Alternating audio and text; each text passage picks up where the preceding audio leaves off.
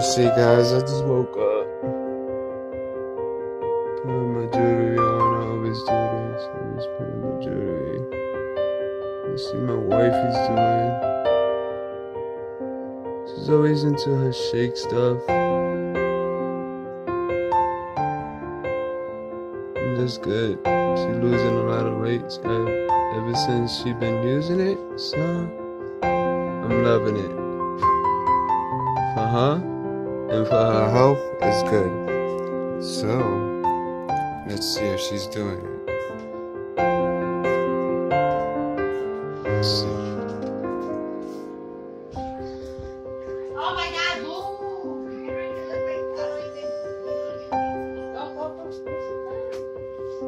Well, I guess I did quarter. Look, guys.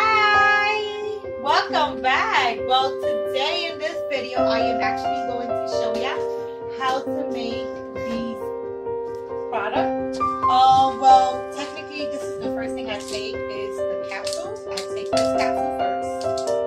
Then I make my shake. Now, usually I put ice because I like to have um, I like to have my my shake slushy. So I'll put ice on it.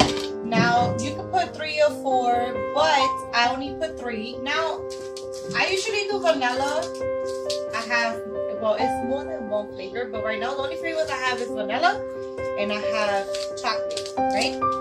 So today we are going to make chocolate. Now you can make this shake with either water or you can make it with milk. Usually I use the 1% milk because I am I want to lose weight. Now if you want to gain weight because much lost weight, you could just use the um the regular milk. So this is like regular milk that you can use.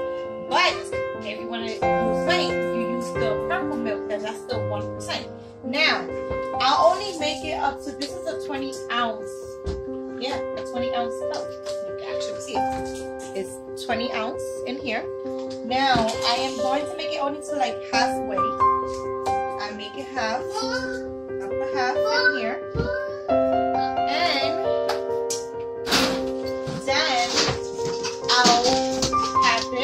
I'll put it I'll put it inside the milk.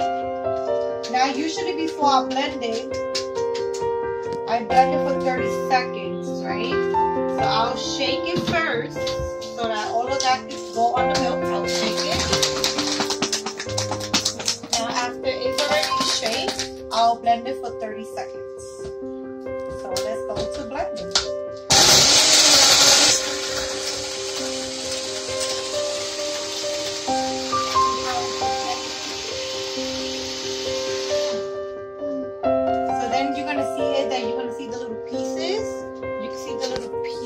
ice.